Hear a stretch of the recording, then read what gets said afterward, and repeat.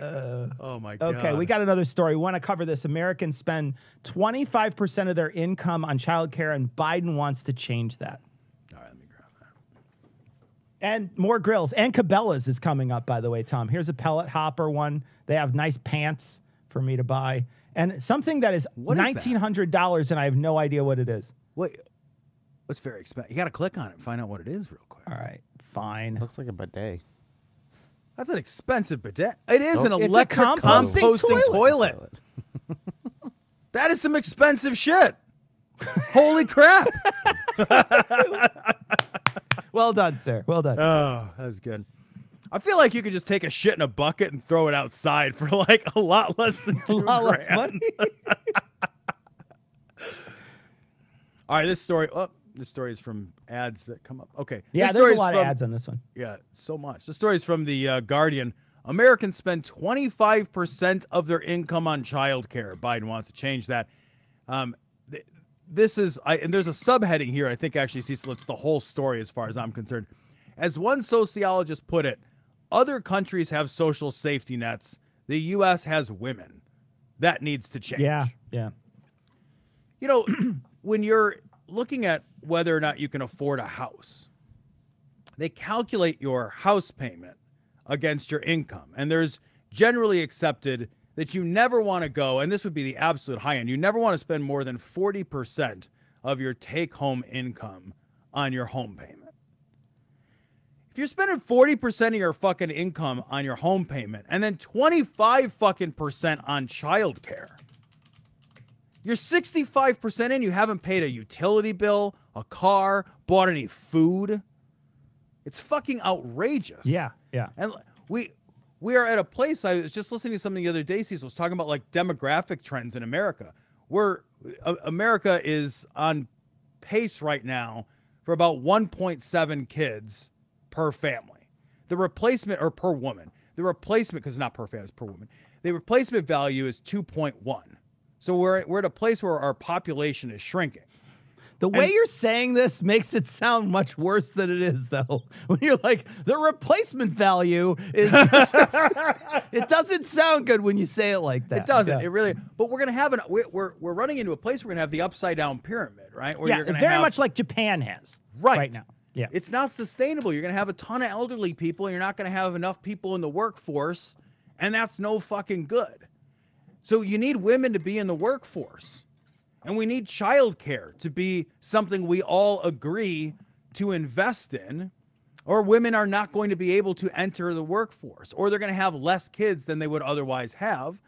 And w- w- there's no getting around this. Like childcare is a, it really is like a social right. If you want gender equality, if you don't want to relegate women to taking care of kids at home, if you want to have a society that has enough people in it to take care of the elderly, you gotta do fucking we gotta subsidize childcare. 25% of your income is a bonkers amount of money. That's Yeah. an enormous amount of money. Yeah. yeah, it's the amount of money that you're spending, the amount of money that you're putting into your uh, into your uh, into childcare that people have to spend. You know, 25% and when they talk about 40% if you if you are for 40% for housing, what the fuck left do you have? And then pack on that crippling student loan debt. Right. So Yeah, add to true. I didn't that that. Yep. student loan debt, which is through the Yep. roof for so many different people. And then, you know, now the pandemic, there's there was talking about because women's industries, a lot of industries for women uh, were hit hard during the pandemic. Uh, they a lot of women either stayed home or they had uh, a difficulty because they they had to take off because there was no the, like the school wasn't in. So they had to they basically had to quit. So there's more women now more than ever are are unemployed because of the because of covid. But this could change everything for a lot of different people in the country. And you know this is one of those examples where you know this is the college the college debt for somebody who's who never went to college right? And they'll say things uh, to the effect of oh well i didn't go to college and i didn't rack up a bunch of debt and now i'm going to pay off all your debt. Well the same thing goes for my property taxes. The same thing goes for me paying for health care for or, or child care for kids. I i didn't have any kids. I made Right. the i made the conscious decision when I was uh, in my 30s to get a vasectomy. I made that conscious decision to not procreate. I knew what I wanted in life, and it was not children. And and I didn't, and, and I don't ever hold that against anybody else. I don't ever look and say, well, my property taxes shouldn't go to pay for school. I don't have any kids. I don't ever think that. I don't No, ever. right. It never enters my mind. The same thing with this. I'm happy that my that my my tax dollars will go to help someone get back in the workforce if they want to to take their kid and and put them in, in, in childcare that the government can help pay for, that the government can help fund. I'm happy for my money to go do that. And then you have crazy people like Michele Bachmann who think that they're literally going to take children away from people. Yeah, that know. because they created this, Michele Bachmann thinks they're going to come to your house whether you want it or, Want not, or not. and take your kid and shove him in a fucking learning camp. Your kids go to our LGBT FEMA daycare re-education camps now. exactly. It's a fucking re-education. These people are crazy. But genuinely, I I don't ever look at it as a way to like I, I don't bank I don't gain anything from it personally, but I gain something societally from it. Right. And, and I think that's important.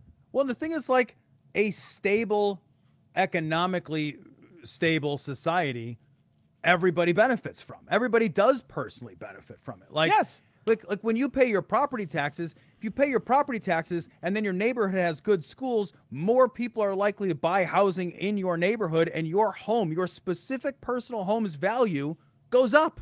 Yeah. You're so we gain things when we help other people. We and that- that's the thing that makes me sort of like nuts. Even if you only want to work for your own personal best interests, your personal selfish best interests are always best served by building a sustainable society Yeah, that benefits absolutely. the least of us. Yeah, I and I'm not gonna like like the thing is is like I won't be in charge. I'm not in charge of anything anyway, right? I was never in charge of anything. But I'm not gonna. My generation won't be in charge of. First off, we're Generation X, so we're only gonna be in charge for like a week, and then we're gonna get kicked out. It's gonna we're gonna have a week in there, and that's it. But we will complain gener- about it though. Yeah, uh, we'll complain about it. We'll be angsty about it. We will wear our flannels, and that's what we'll do. but but seriously, the the uh the the the fact is is that is that I want people that are going to be in charge that are knowledgeable, smart, well-adjusted people, and I can Yep. help do that through money and tax dollars and and making sure that that happens. Great, I'll do it all day Yeah. and twice on Sunday. Don't care. Yeah. I'll never see personally see like me personally see my kid in this school district getting Right. you know the education, but does it matter to me? It's like a- a, kid will get to school district and it's awesome. Yep. Yeah. It's like uh, like if if I want like I'm I'm relying on the next generation and I'm not relying on the four kids I've got. I'm relying on the next generation to come up with some big solutions, man. Yeah. Like Yeah, I am absolutely uh, Ben Johnson as this is bullshit time. Your property values go up and so do your taxes. Then you only see the profit if you sell and buy someplace with a worse market. That that's actually not your property values go up and so do your taxes, but they don't typically go up in exactly in lock lockstep with one another. So, and then you could you're eventually going to sell your house. Like either that or your kids are going to get it. rising property values are something that if you own property you want. You don't want stagnant or declining property values. that's that's silly. You don't. you- I you don't gotta want say to- too, shout out here real quick. Shout out, is it Zeno? Am I saying that Zeno? I don't know if I'm saying that don't think correctly. so. But the, always saying, always to every week, Every week, yep. always saying, hit that like button. Thank you so much for doing that every week. We don't. We, we, we, we, we don't pay a lot of attention to that, but but that's awesome. Thank you so much, and I'm, I'm happy that you say that every week. So thank you. We should be. We should. I should subscribe to this show. I should like this show. See, You should like this show on I'm gonna stuff. go. Yeah. Are we on the YouTubes? Nah, maybe not No, for not long, anymore, Tom. right? Maybe not for long. Thanks to Ian's Ian's uh the way Ian's I don't My know thumbnails. does stuff. I think it's your thumbnails. thumbnails and just I think ever since you came on, Ian, we've I just I want to point downhill. this out. Ever since you came on, we've had problems with it, uh, with YouTube. So that is true. That is a correlation. if you map it out, it's directly caused by that's true. me.